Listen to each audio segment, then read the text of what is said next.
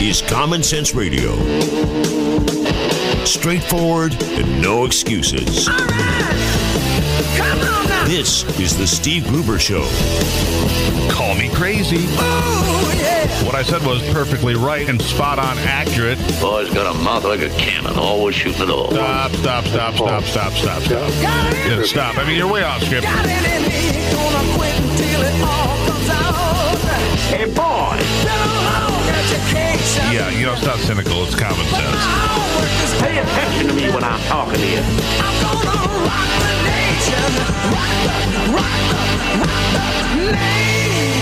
Genuine, accountable, and raw. Here is Steve Gruber. Welcome back to the Steve Gruber Show. Duran Martinez in for Steve. It is about seven minutes after the top of the hour, and the winding it down on a Monday. Would love to have you on uh, board with us today. Join the conversation. 888-900-9966 888 9966 You can also find us on Facebook. Look for the Steve Gruber Show. Ah, yes. Welcoming refugees? No, we're going to put that on hold for a little while, according to Governor Snyder. Uh, the thought that we would be welcoming Syrian refugees it's not so well with uh, with with many, and now after the attacks in Paris over the weekend, the possibility that one of them had embedded himself as a Syrian refugee. One of the people uh, that was part of the plot that was carried out, uh, possibly uh, spent some time in Syria fighting with ISIS and, and got through. One got through the system. It, it's not impossible. It's not. It's not even improbable. The fact is that it it more than likely did happen. So, and of course, ISIS is taking responsibility for the uh, Paris massacre. Why wouldn't they? It was a big event. Even if it hadn't been them, I'm sure they would claim responsibility. But in Michigan, Governor Snyder putting the refugee acceptance efforts uh, on hold, and not the only governor to do so. The governor of Alabama also taking a stance and putting things on hold. Although uh, that stance over there in Alabama, or down there rather, seems to be a bit more on the permanent side, as where ours seems to be a, a temporary hold. Michigan's Republican governor, who has bucked many of the party leaders for welcoming Syrian refugees, is putting efforts on hold. Not a permanent stop, but a hold following the deadly attacks in Paris. Governor Snyder said in a statement on Sunday that the state is postponing efforts to accept refugees until federal officials fully review security clearances and procedures. Uh, Governor Snyder says Michigan is proud of our rich heritage and history of immigration, uh, but that Michigan's priority is protecting the safety of our residents as well. It should be. Several GOP candidates have criticized the Obama administration's plans uh, to accept the 10,000 Syrian refugees and urge much greater scrutiny. Officials say Friday's gun and bomb attacks that killed 129 plus. One of the attackers had a Syrian passport and uh, is believed to have been uh, embedded with the Syrian refugees. And uh, very good possibility that the passport was faked, thus gaining him entrance into France and carrying out uh, despicable crimes against innocent people, people uh, enjoying sport events, concerts, a, concert venue. One, uh, the a merchandising manager for the uh, the band out of California called the Eagles of Death Metal was one of the victims in that uh, in those uh, attacks in Paris. A prosecutor will not pursue charges against the husband of a, a former Michigan lawmaker who sent anonymous text messages threatening to reveal an extramarital affair between his mo- uh, his wife and another legislator Lapeer County prosecutor Tim Turkelson confirmed on Sunday that no charges will be filed against the husband of Cindy Gamrat, Joe Gamrat, or anyone who helped him. State police sent a report to the prosecutor after investigating former Representative Todd Courser's complaint of getting threatening texts over his relationship with then Representative Cindy Gamrat. Courser resigned. Gamrat was expelled in September. Courser sent a false email saying that he had uh, sex with a male prostitute, which was an attempt to make uh, the affair less plausible if revealed by an anonymous, uh, anonymous rather, blackmailer. Turkelson's decision was first reported uh, by the county press of Lapeer. I'm not sure which would be worse.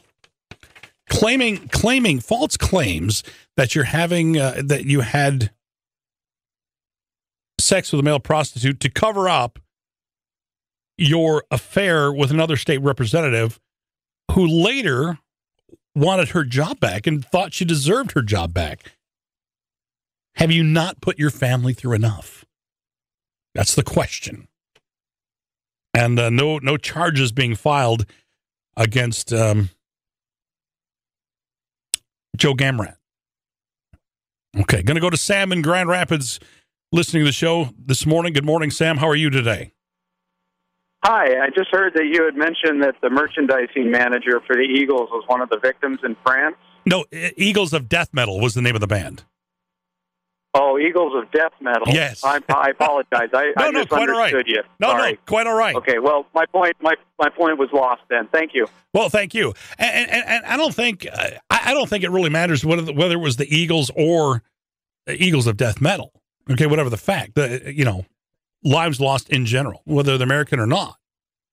Um, but we we've had, according to the president, uh, ISIS under control, contained, the JV team. No, might want to might want to rethink that, and uh, still uh, manhunt for another person involved, uh, the the the mastermind behind the whole hit over the weekend in France. 13 minutes after the top of the hour. Um, Republican presidential candidate Ben Carson said he would uh, cut down on illegal immigration across the U.S. Mexico border by cutting all benefits that he says attract illegal immigration. Uh, the comments came during a press availability Sunday after he and his wife spent the day campaigning in southern Nevada. He uh, spoke at the uh, Evangelical Church service in Las Vegas and then at an afternoon uh, rally in nearby Henderson. The retired neurosurgeon said it would be done easily in a year and suggested prosecuting all first time offenders, installing a double fence, and using technology driven surveillance to cut down sharply on the percentage of illegal crossings. I don't know. You t- take away the benefits, take away the the uh, the the milk and honey of those coming to America illegally. No, you can't do that. Got to make it easier for them. 14 minutes after the top of the hour, I'm Duran Martinez in for Steve Gruber today.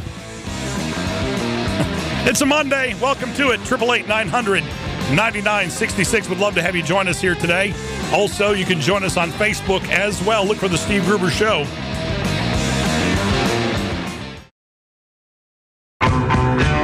Keeping you in touch with Michigan and the world. Filling in for Steve Gruber, here is Duran Martinez. Sheepdog, standing in the rain. Bullfrog, Welcome back to the Steve Gruber Show. I'm Duran Martinez, winding down a Monday morning. some kind of 19 minutes after the top of the hour before we get to our next guest. Going to go to Rick in Eaton Rapids. Good morning, Rick. How are you today? Real good. Hey, I want to know why it's taken 14 years for the people in the political class to wake up and finally start saying no mercy when it comes to dealing with terrorists and terrorist activity. Rick, we're a kinder, gentler nation. We're full of political correctness and allowing things to happen and to alter our uh, way of doing things, our way of life to, uh, you know, accommodate for those we're bringing in, Rick.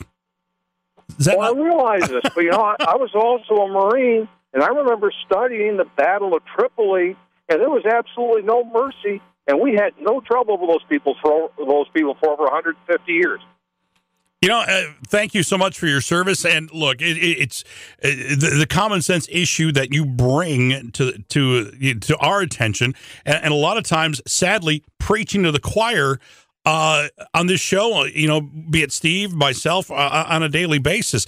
Uh, you, you know, bring us some concrete evidence to say that you know fighting back is a bad idea, or striking is a bad idea.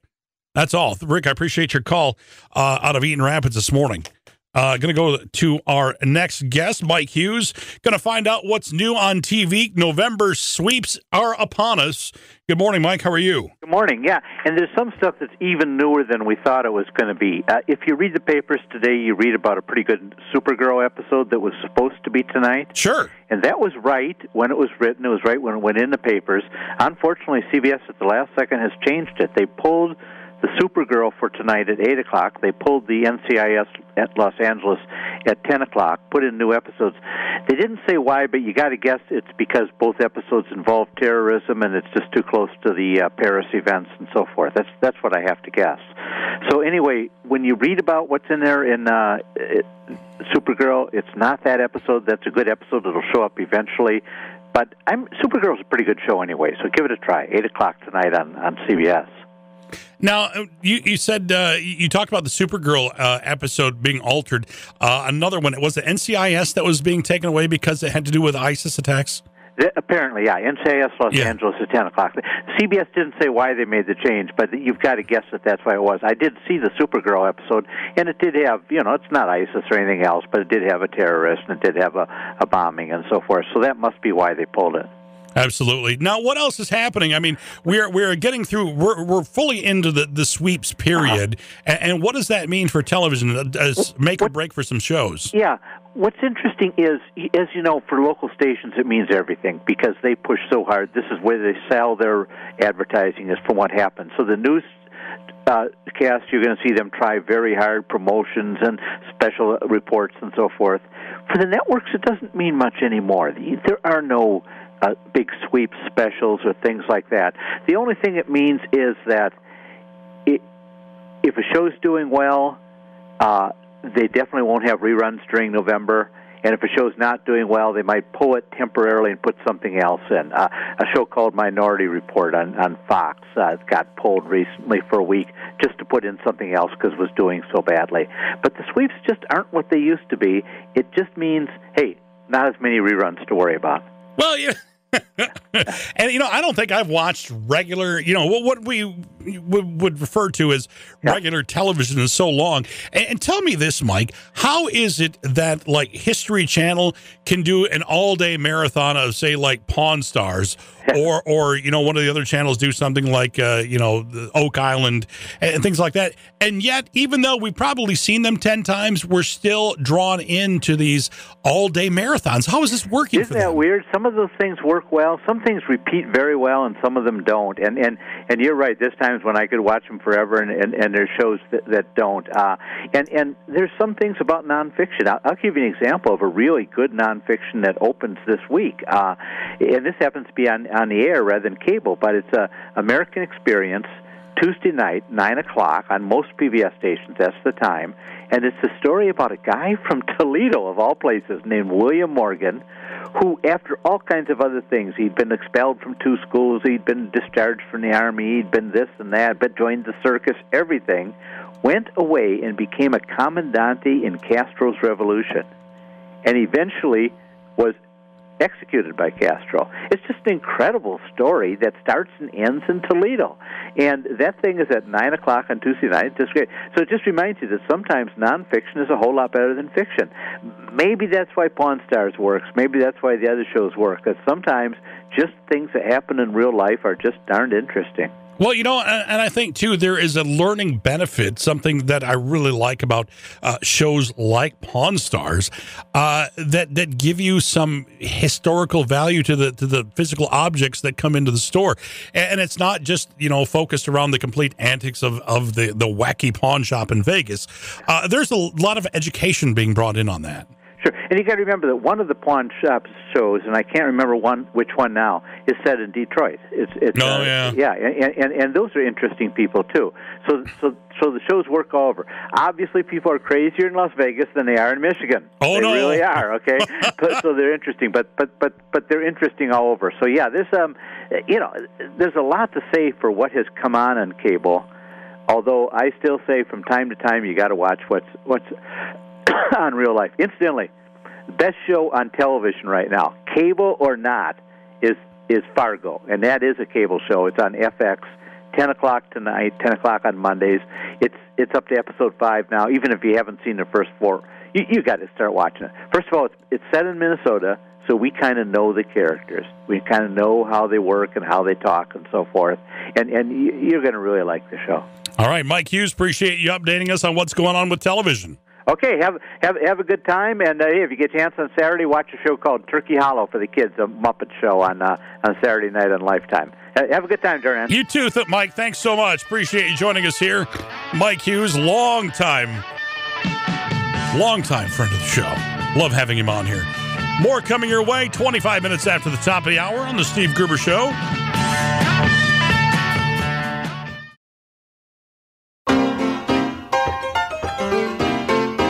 The Steve Gruber Show. American values with Midwestern common sense. Nothing from nothing leaves nothing. You gotta have something if you wanna be with me. Welcome back to The Steve Gruber Nothing Show. from nothing leaves nothing. Welcome back. Welcome back. It's a Monday. If you wanna Still rolling through it. Still, still muddling through this Monday. Opening day of firearm deer season yesterday in Michigan. Uh, of course, nine townships in the um, nine townships uh, in three counties closed for baiting because of CWD found in Michigan, and uh, you know it's it's not affecting the whole state as it did a few years back when CWD was first found in a, a private facility in Kent County. Okay, we didn't have the whole uh, the whole shutdown of the Lower Peninsula for baiting, but again, if you're out hunting, make sure you do know the rules. Michigan.gov/DNR will uh, will help you find out uh, what those townships were and uh, where it's safe to bait, and hopefully everybody has a safe, if if nothing else, safe firearm deer season here in Michigan. Uh, Going to go to Chris Farrell, Director of Research and Investigations for Judicial Watch. The FBI has nearly 1,000 active ISIS probes inside the U.S. Uh, good morning, Chris. Welcome to the show. Good morning. Great to be on with you. Uh, absolutely. A, a disturbing number to look at. A thousand probes going on. Now, mind you, uh, some of them may just be, uh, you know, slight red flags that come up, but still, that's a pretty big number, uh, especially after looking at what happened in France over the weekend, um, and something we should be concerned about. Absolutely, and the, the the number was really arrived at because of a letter written by the Association of uh, of Sheriffs in the state of Colorado, writing to President Obama, objecting to the closure and transfer of pr- prisoners out of Guantanamo. These sheriffs, and of course, everyone knows that you know sheriffs around the country are the the chief law enforcement officer in any county, and they very often have uh, the additional responsibility of uh, of running the jails and prisons, and also security of courts and courtrooms, and moving prisoners around uh, between those facilities. And so they have a vested interest not just in the overall public safety, but also in, in the administration and the maintenance and, and the operations of uh, the prison system. And so these sheriffs uh, objected and said, look, you know, uh, we've already got uh, a huge number of investigations ongoing.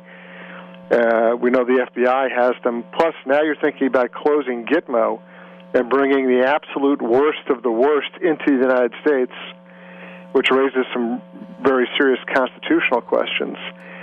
Um, so th- this is a very grave, serious situation we're involved in. The president has very badly misjudged the threat posed by ISIS. You'll recall a year ago he was calling them a JV team. the day of the attacks, he said that they were essentially isolated or constrained, limited in some way. He's just out of touch. He just he, he is not aware of or does not appreciate the threat to the American public. And um, know, we're what happened in Paris could be New York, Washington, uh, Cleveland, could be anywhere. I mean, there's there's no there's no constraints on on these people and what they're what they're able to do. So. You know, and, and I don't want to. I don't want to. Again, I'm, I've not been one to condemn a whole group of people, but come on, Michigan, uh, our Dearborn community, Hamtramck community, uh, is you know, it has to be looked at as well. It's just a question of demographics. It has nothing to do with if you have a high concentration of a particular ethnicity it just it begs the question. Look, if if if Catholic Polish nuns were blowing up buildings, I would tell you you got to look at Chicago, right? I mean, it's just where's the concentration? It, it, it's uh, the, the the the larger the number, the greater the probability. It's just math. It has nothing to do with with being mean or being hateful. It's just mathematics. Uh, and frankly, if you had a very aggressive uh, sort of community relations situation where you had any number of uh, leaders in the Muslim community, whether it be civic or you know secular or religious, coming forward and actively promoting uh, dialogue, actively trying to root out the bad actors, actively engaged in a positive alternative to, to the to the death cult uh, then he could say, look, this is the way out. These are the good guys. These are the people that support American principles. But I, I don't see that. Maybe I'm just ignorant. I mean, I'm, I'm willing to, I'm willing to concede that I just may be an incredibly ignorant person. I don't think so, but I'd, I'd love to be proven wrong. I want to see the person from the Islamic community who is who is actively out running around, offering an alternative to the death cult, and offering to to root out the people that are the bad apples in the community. I want to see that person. I can't name them off the top of my head. Speaking with Chris Farrell here on the Steve Gruber Show, uh, Director of Research and Investigations for Judicial Watch. You know, going back to Gitmo, as the eyes of America were on France, and, and believe me, that was everybody. Look at Facebook, look at social media. Everybody's changed their profile picture to reflect it. Uh, five detainees, like you mentioned, from Gitmo being gone.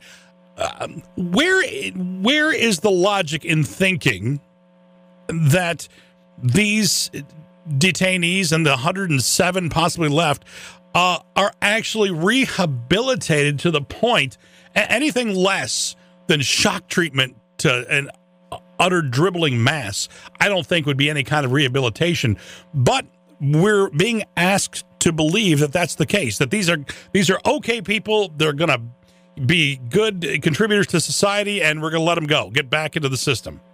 I mean, it's just wishful thinking. It's fantasy land stuff. It, it has there's no connection to reality, and you, I mean, you need to just watch the news. And I mean, France, one of the most enlightened, liberal, open uh, countries in all of Western Europe, enormous population of folks from the uh, Middle East and Southwest Asia uh, the vast majority of whom are Muslim.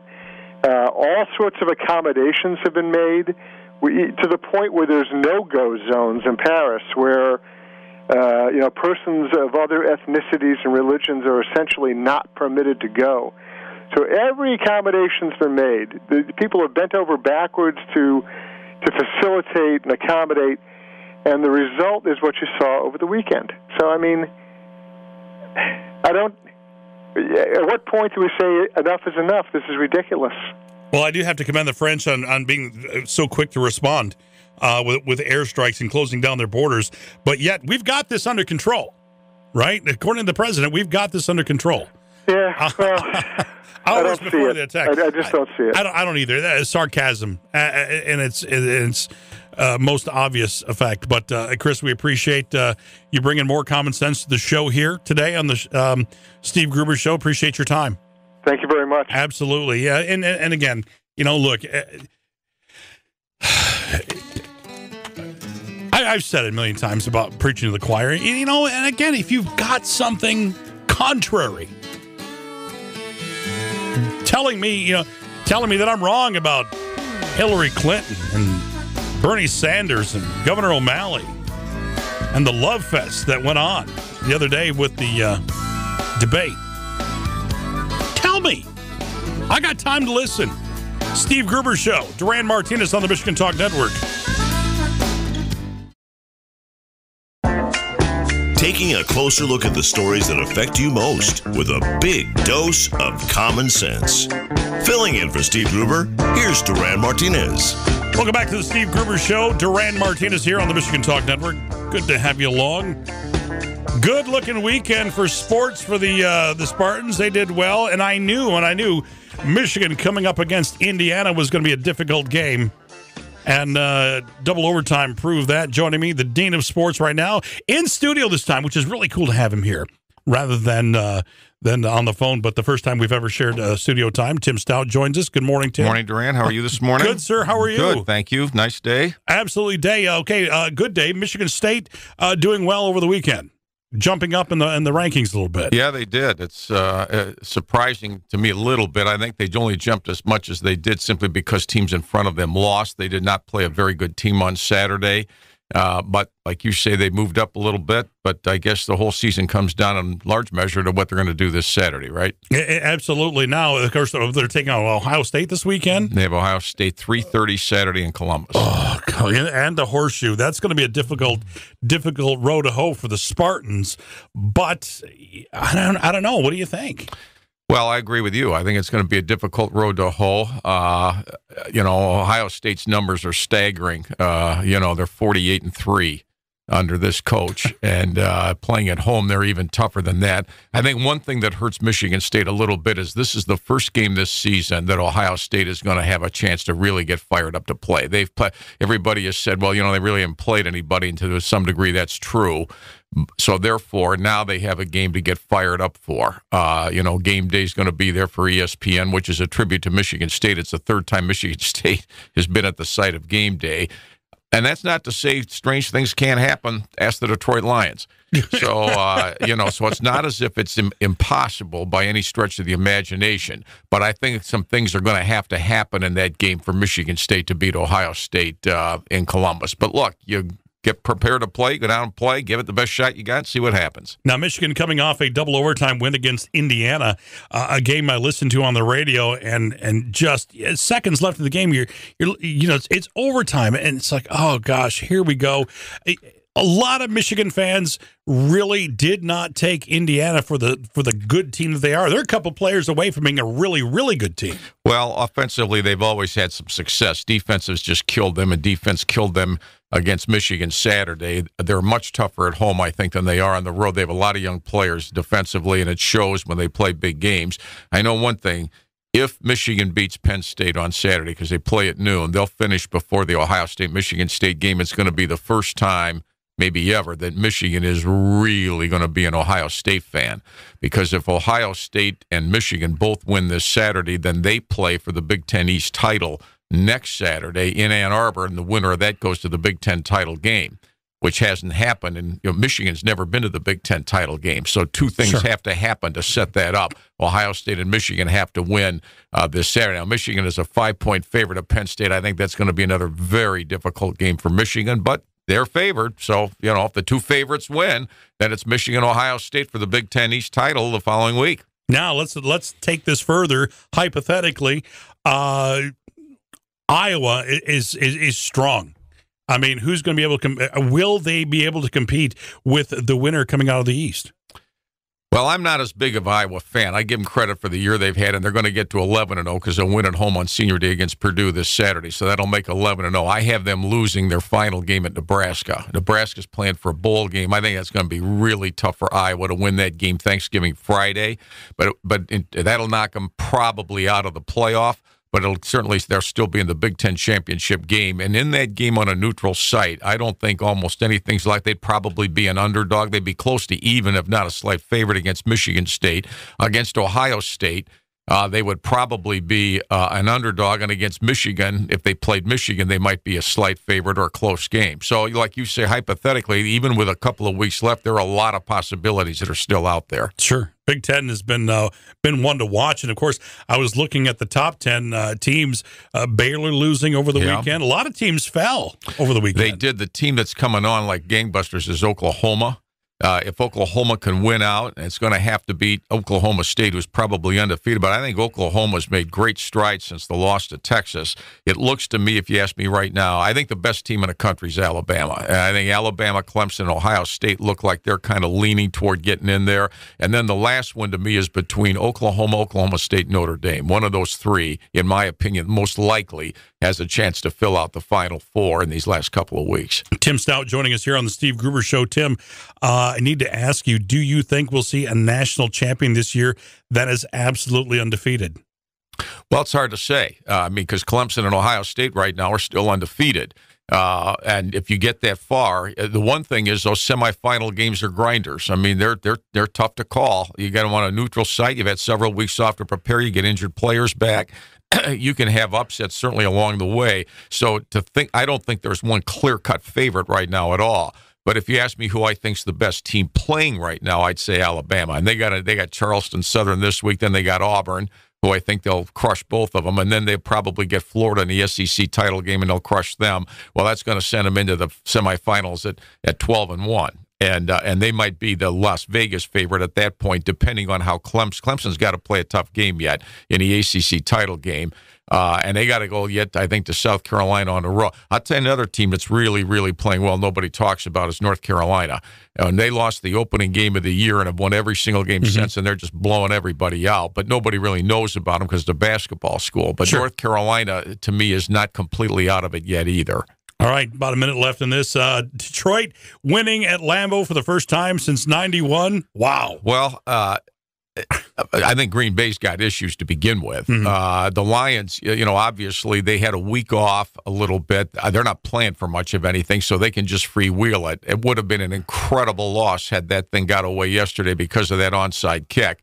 But, you know, good for them that they played hard in that game. I guess Mrs. Ford's got some magic about her since she talked to the team. The Lions are 1 0. And Green Bay side, though, they don't look to me nearly like the Green Bay team that had opened up with, what, five, four or five consecutive Sure. wins to start the year. They got a lot of issues uh, that they're going to have to deal. They got to go play Minnesota next week on the road. Uh, but you know what? Uh, the Lions, uh, look, it's one game. Doesn't really mean much for the playoffs for them, but good for them. They finally won a game. Absolutely. And, and, you know, and Green Bay can always blame Ditka. Uh, why not? For the Yeah. sweater. well, I claim that, you know, just as soon as you think somebody has no chance, like the Lions at Green Bay, you'd say, well, Ohio State never loses a game. Well, you know, Michigan State can go in there with the same free way. Nobody gives them a chance to win. No.